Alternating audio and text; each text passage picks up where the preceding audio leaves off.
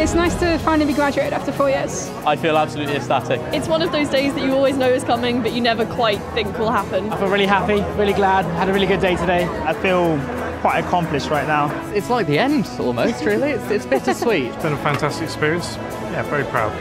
The graduation ceremony was in St David's Hall, so in the centre of town, which was really nice. I think it's a nice end to a degree. It's an appropriate ceremony.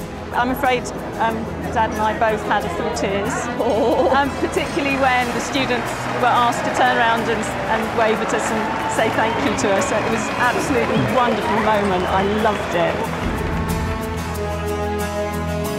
Cardiff is a very student-friendly city. It's a really beautiful city, I think, for a start. And when it comes to the university, it's just got a lovely feel about it, and everyone's so welcoming. And at the very start of the degree, I instantly felt like I connected with everyone, and it's just a really fantastic environment to learn chemistry.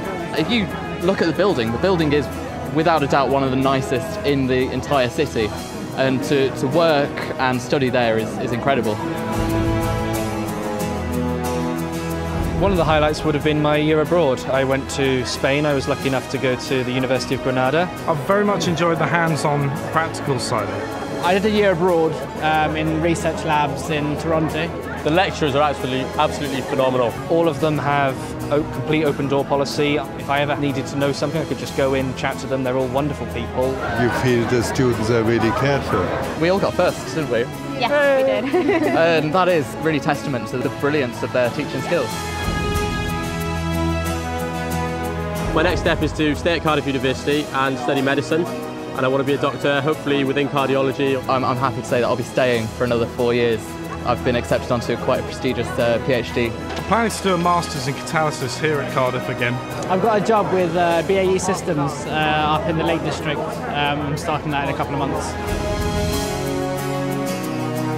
I'm very proud of my little girl. I'm just so proud of what he's achieved and I can't wait to watch him carry on and achieve more. I'm going to miss Cardiff so much and everyone here. Yeah, I absolutely love it here. Absolutely great fun from the first minute to the last. All the hard work's paid off finally.